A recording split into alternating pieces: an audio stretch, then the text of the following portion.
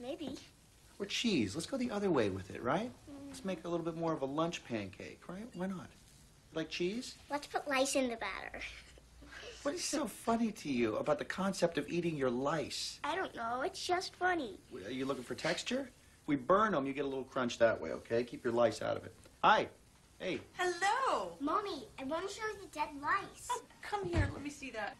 Come here. You're home. What do you have in that jar? Lice? Lice. Are you kidding Well, me? he hunted them and killed them all. Let me see. I'm so sorry I wasn't here. Is it all out? Yeah. Oh, oh I love you. Me too. I'm going to take dead lice to watch TV. That's a cute look. Oh, this is, um... I was starting to feel itchy, so I used a little bit of the shampoo. you don't have lice. Uh, I could. I could actually have the lice. You don't have lice. And I really thank you. I appreciate you taking care of all this. Thanks for taking care of him. Yeah, you're welcome. How was that weekend? It was good. It's good. It's really beautiful. It's quiet. It's on the lake, and you know, his, his grandfather actually built the cabin from logs that they milled on the property, and uh, so it's, we're gonna go. In, I think like two weeks. Take Sebastian. Really? That's, wow, that's getting serious, huh? Yeah.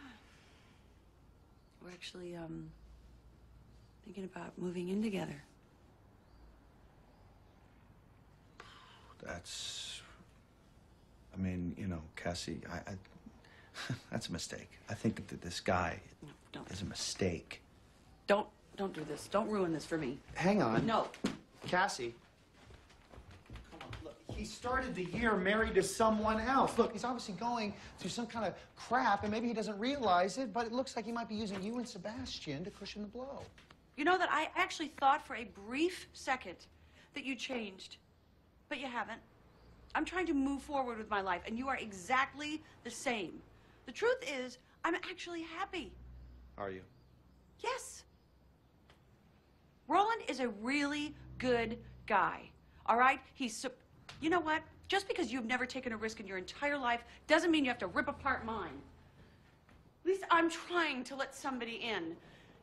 You should try it sometime. I mean, unless, unless you have something else that you would like to say to me. Wally? Really? Got nothing for me, huh? Nothing. Ooh, I smell flapjacks. Hey, Wally. Thanks for being on Lice Patrol, man. You gotta try some of this beer Grandma made.